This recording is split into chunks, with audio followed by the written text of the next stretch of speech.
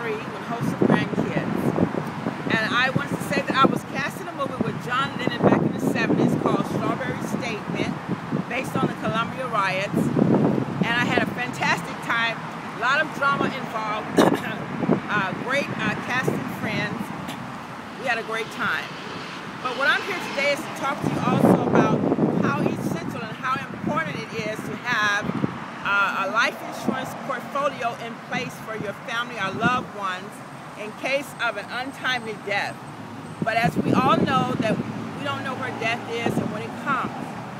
But it, it is essential to have some type of life insurance policy.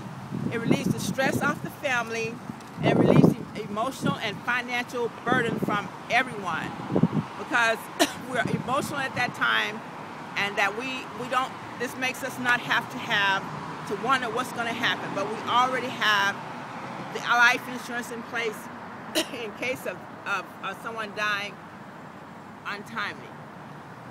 So I think that, you know, you should take in consideration as to what I'm saying that it, it's a must that we have this, a life insurance policy in place.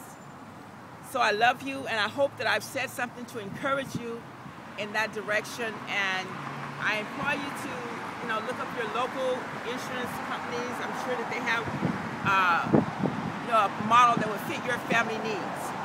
So this is all for now, and God bless you, and goodbye.